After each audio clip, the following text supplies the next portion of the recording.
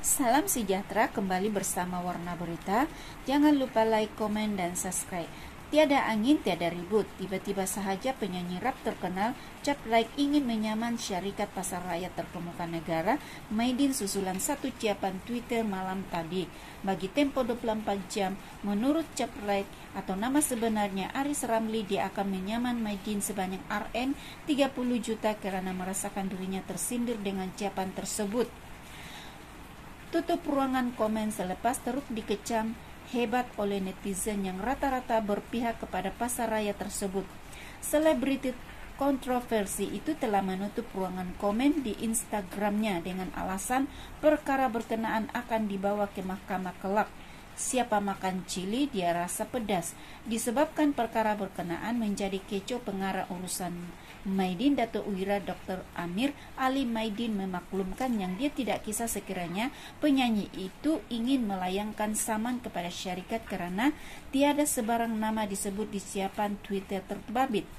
Hal tersebut dinyatakan dalam laporan dari Cosmo susulan berasa pelik mengapa selebriti itu terlampau lantang dan terasa dengan ciapan mempromosikan barangan jualan di pasar raya Maidin.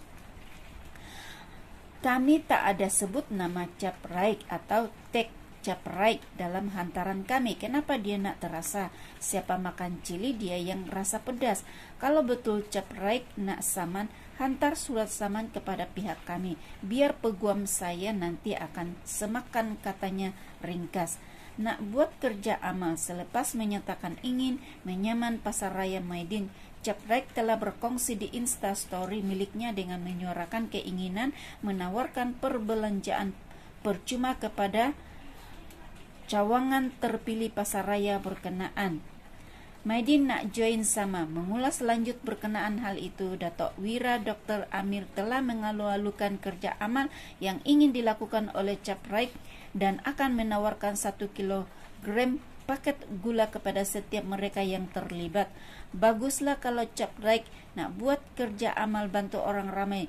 Jangan lupa hubungi pihak Medin ikut cawangan yang diinginkan. Saya pun nak bantu juga bagi yang terlibat Medin akan bagi satu kilogram gula kepada anda katanya.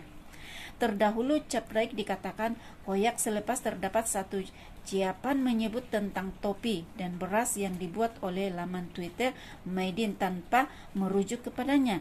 Disebabkan itu penyanyi rap terbabit meminta pihak Maidin untuk membuat video permohonan maaf kepadanya dalam tempo 24 jam dan jika tidak dia akan melayangkan saman sebanyak RM 30 juta. Terima kasih karena sudah menonton Warna Berita dan nantikan berita selanjutnya.